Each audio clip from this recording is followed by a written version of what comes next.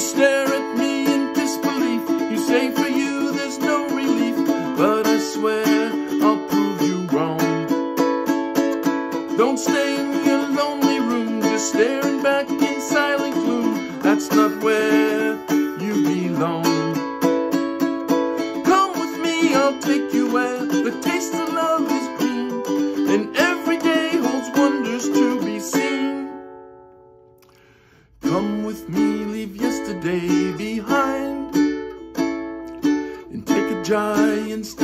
outside your mind.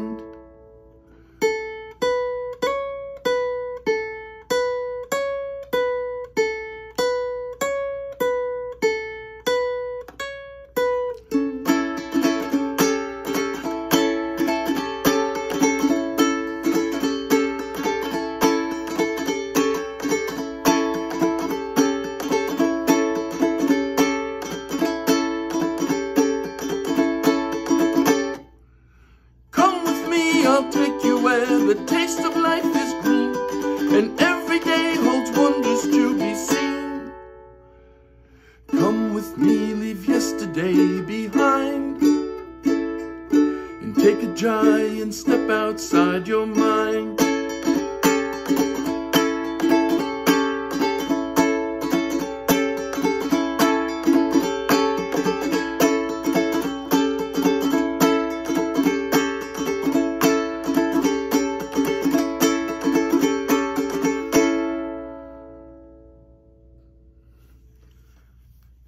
Okay, that was Take a Giant Step from the Monkees' first album in 1966.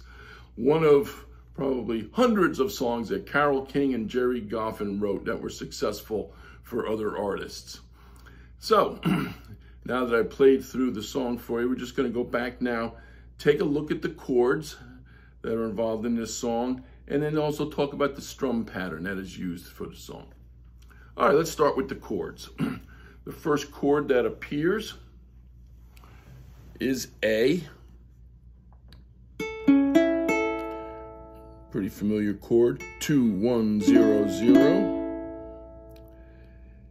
And then an A seventh appears in this song. And the, the form I use for A seventh, I know some people use this form for, but in this song it works better to hang on to the A chord and use either your third finger or your pinky on the third fret of the second string.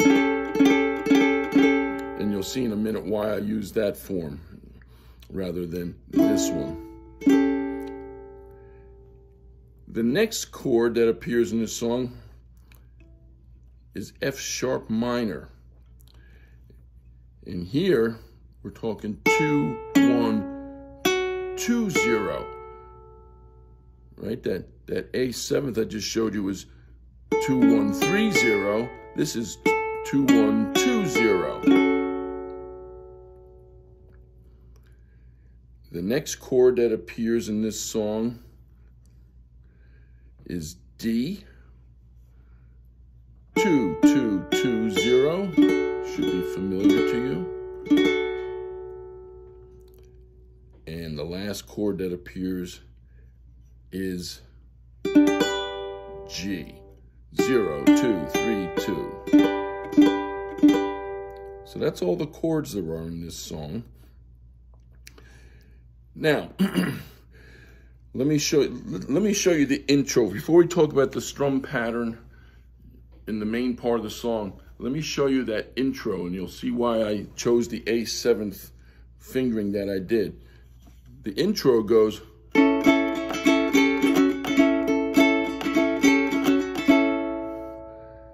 See that? So it starts with the A, goes to that A seventh that I talked about. And then they get from the A seventh to the F sharp minor. All you're doing is removing that finger and putting that one. So here it is slowly. So these two fingers stay right there throughout the whole intro.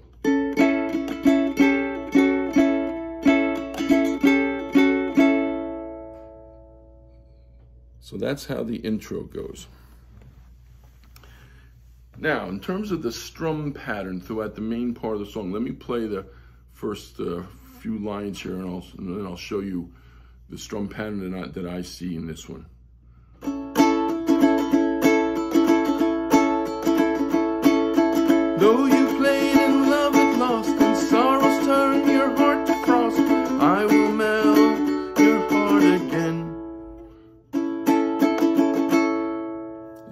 What I'm hearing here is a one, two, one, two, three, four. One, two, one, two, three, four.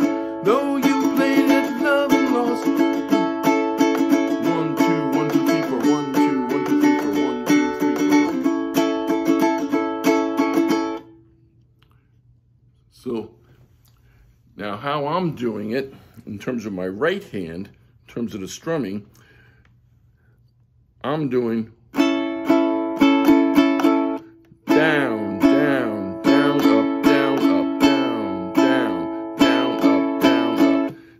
does not mean it's the only way to do that. You find the one that's comfortable for you to get that one, two, one, two, three, four, one, two, one, two, three, four, one, two, one, two, three, four, one. So that strum pattern takes place throughout the verses. And the one place where the, the strum pattern, if you will, changes is that, that line, come with me, leave yesterday behind, and take a giant step outside your mind. There, it's just single strums. Come with me, leave yesterday behind. Just going back and forth between the A and the D. Come with me, leave yesterday behind. And take a giant step outside your mind. So that's the one. That's the one part of the song that deviates from the one, two, one, two, three, four, one, two, one, two, three, four that takes place throughout the other parts of the song. Um, there is a brief interlude where the um, where you hear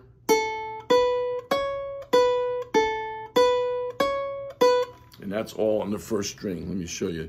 It's open, open first string.